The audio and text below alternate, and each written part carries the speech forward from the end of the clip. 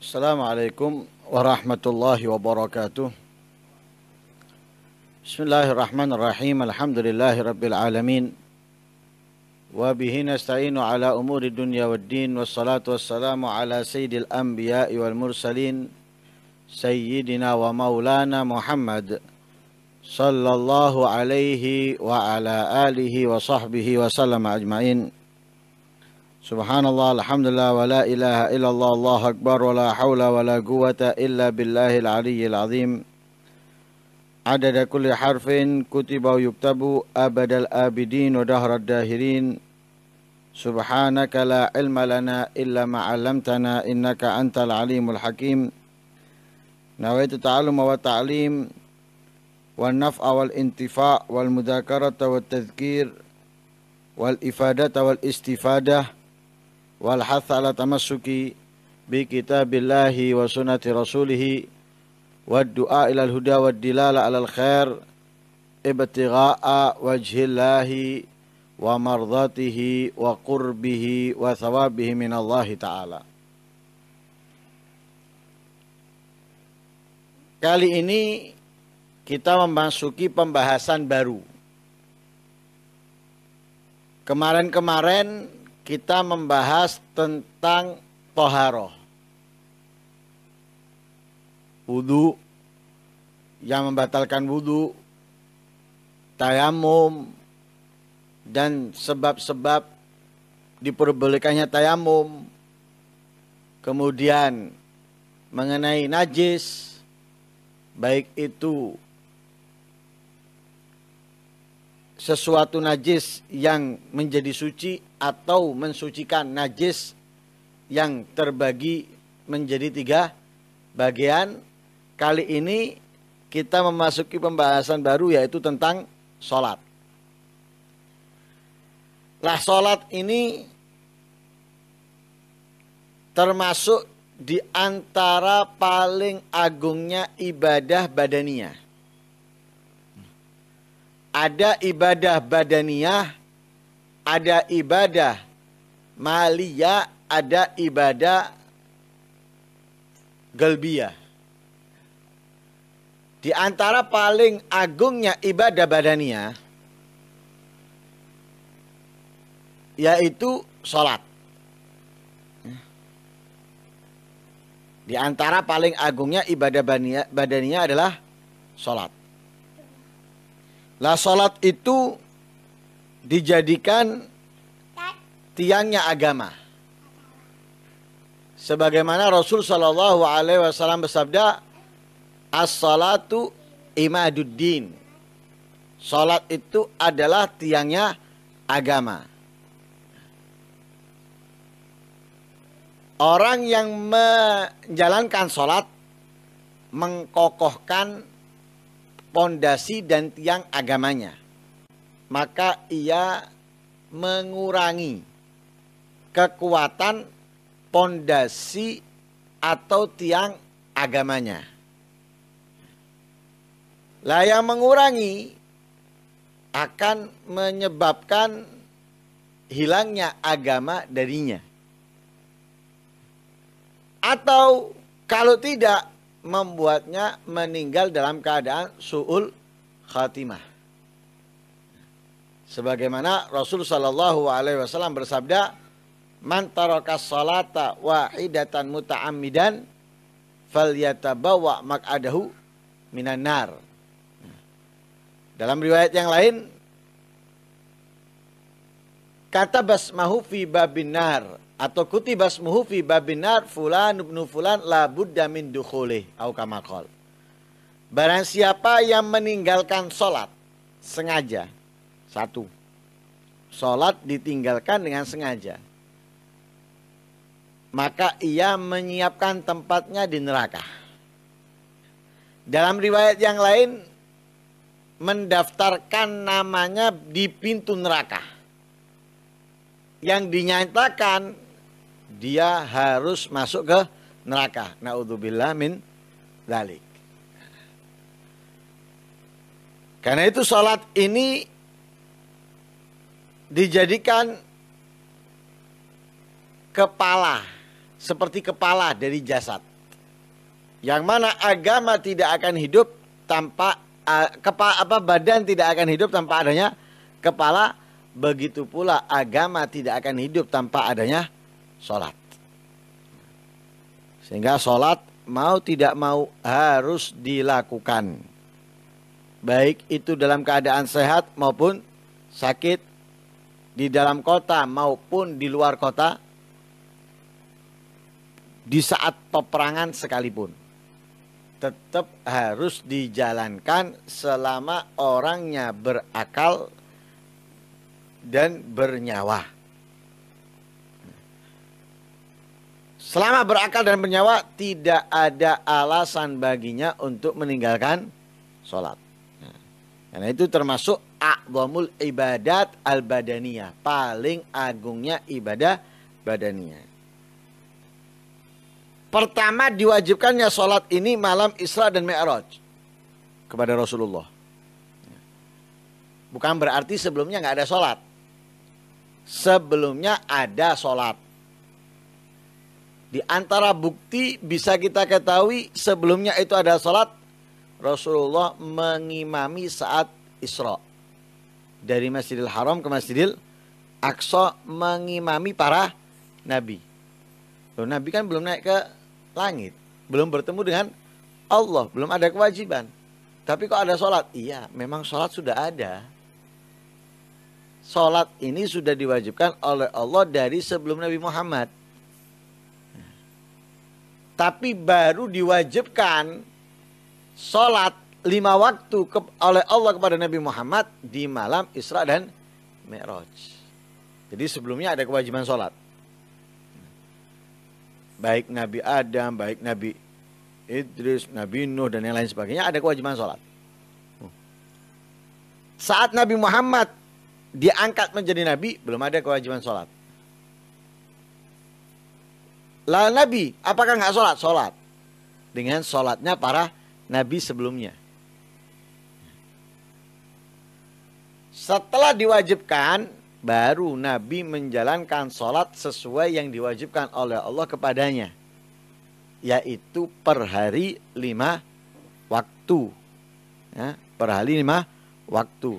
Zuhur, asar, maghrib, isya, dan subuh.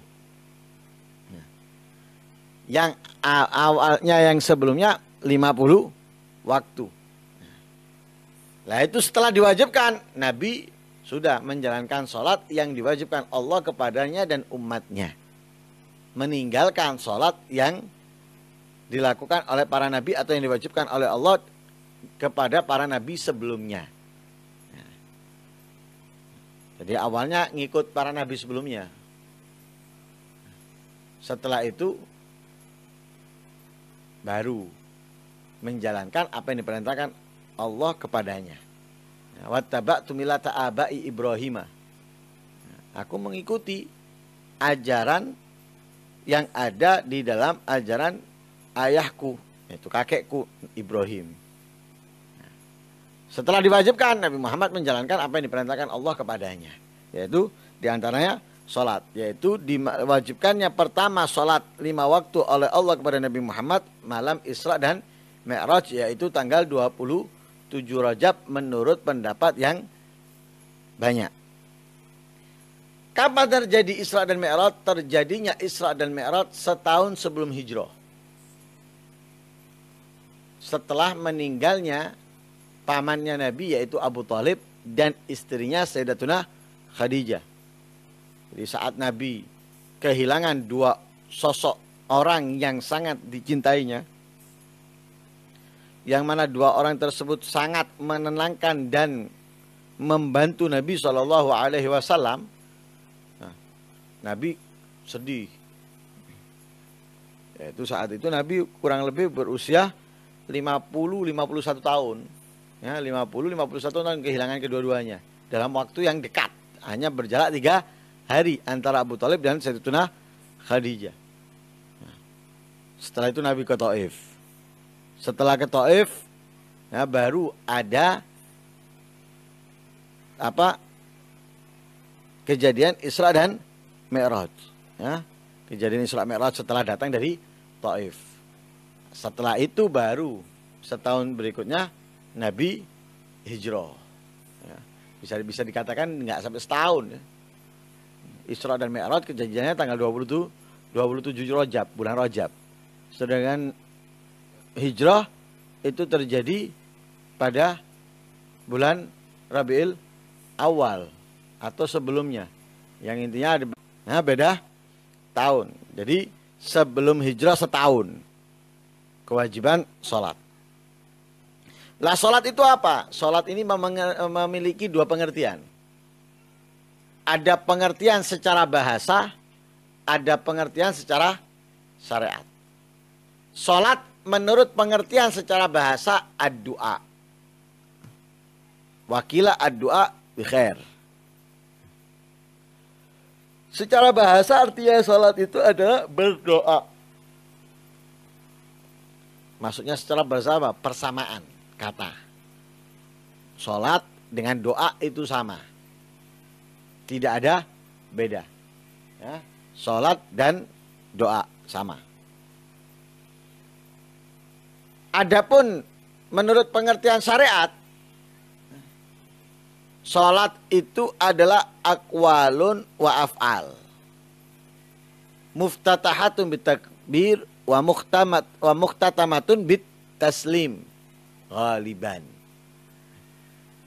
Salat ada perkataan-perkataan dan perbuatan-perbuatan. Di dalam sholat ada perkataan-perkataan. Apa perkataan-perkataan dalam sholat? Takbiratul ihram.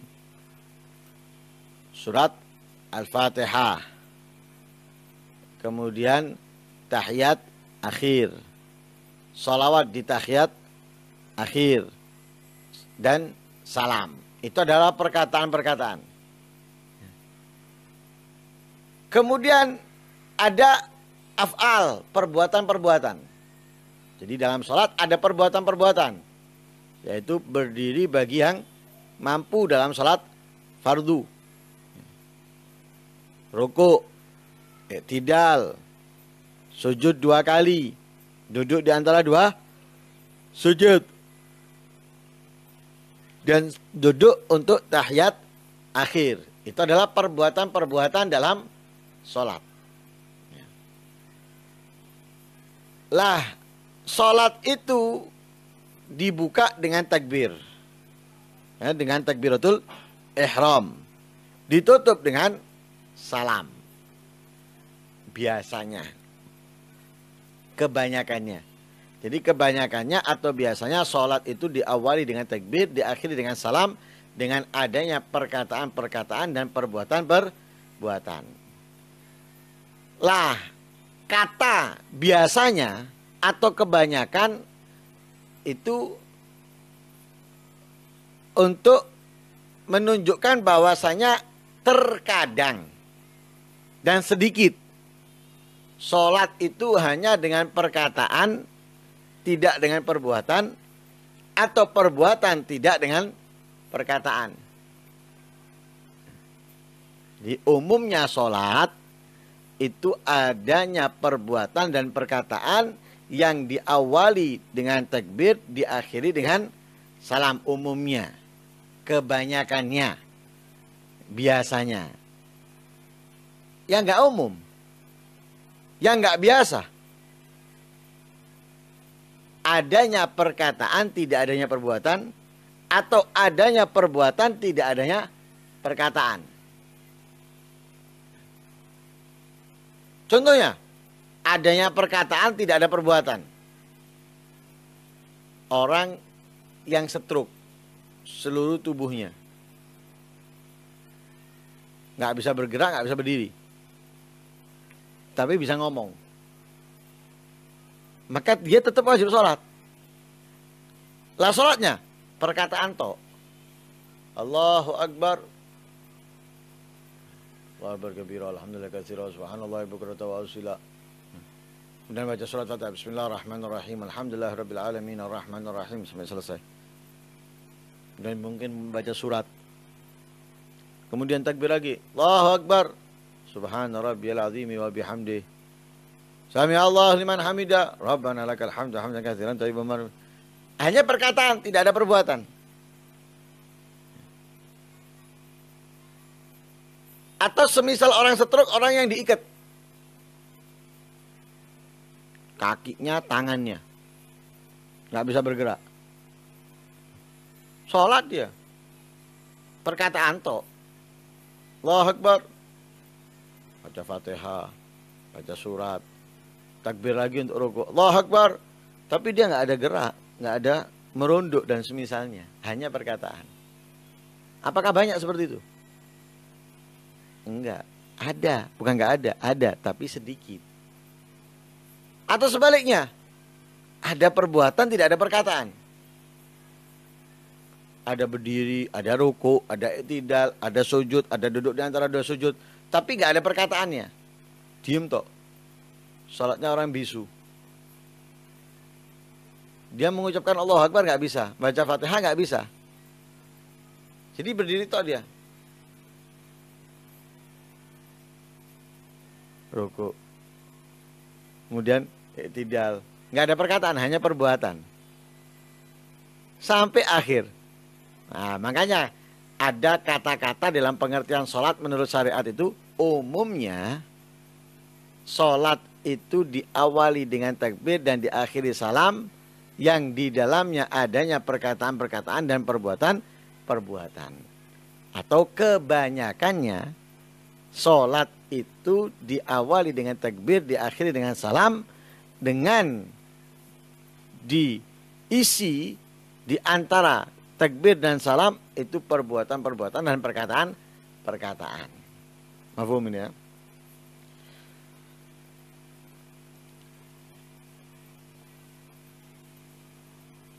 dalil kewajiban sholat ini ada di dalam Al-Quran, ada di dalam hadis, dan juga ada di dalam ijma kesepakatan ulama. Karena hukum dalam Islam itu diambil dari empat hal. Antara Al-Quran, hadis, ijma atau kias. Dan masing-masing ini ada pembahasannya. Ini global. Al-Quran, hadis, ijma dan kias. Lah, sholat ini dalil kewajibannya itu dari tiga. Al-Quran, hadis dan ijma. Dalam Al-Quran Allah berfirman, "Wa ma umiru illa liya'budullaha mukhlishina lahuddin hunafa'a wa yuqimus solata. Dan tidaklah mereka diperintahkan oleh Allah kecuali untuk beribadah semata-mata hanya kepadanya. Wa solata dan mendirikan solat. Jadi di antara diperintahkan selain beribadah kepada Allah yaitu diperintahkan mendirikan solat. Atau ayat yang lain fa'aqimus salata wa atuz zakata wa'tasimu billahi huwa maulakum. Maka laksanakanlah sholat. Tunaikanlah zakat. Dalam ayat yang lain. Inna salata kanat alal mu'minina kitabam mauquta. Itu di antara dalil ayat Al-Quran. Masih ada beberapa ayat yang lain. Hadisnya Nabi. Hadisnya Nabi Rasul Shallallahu Alaihi Wasallam bersabda, "Bunyal Islamu ala khamsin syahadatu atau syahadati alla ilaha illallah wa anna muhammadar rasulullah. Wa iqamu atau wa iqamis salah. Wa ita'u atau wa ita'iz zakah. Wa saumu wa saumi ramadan. Wa hijju atau wa hajjil bait man istata'a ilahi sabila. Islam dibangun atau dipondasikan atas lima. Di antara lima itu adalah ikomus sholat, menunaikan dan mendirikan sholat. Itu hadis. Adapun ijma kesepakatan ulama bersepakat atas kewajiban sholat lima waktu dalam sehari semalam. Yes, jelas. Lah sholat ini, sholat lima waktu itu fardu ainin. Karena sholat ada dua macam. Yang fardu, ada fardu ain, ada fardu kifayah. Sholat yang wajib ada dua, ada fardu ain, ada fardu kifayah. Fardu ain yaitu sholat lima waktu. Masuk di dalamnya sholat Jumat. Itu fardu ain. Per individu orang. Per kepala. Lakinya maupun perempuannya. Wajib melaksanakan sholat. Jadi setiap orang wajib menjalankan sholat lima waktu dalam sehari semalam. Lah siapa yang wajib? Ya orang muslim yang balik berakal ya, maka wajib baginya melaksanakan sholat lima waktu. Adapun fardu kifayah, fardu kifayah itu tidak diwajibkan bagi semuanya. Salah satu dari semua orang. Satu ada yang melakukan, sudah yang lain nggak perlu melakukan.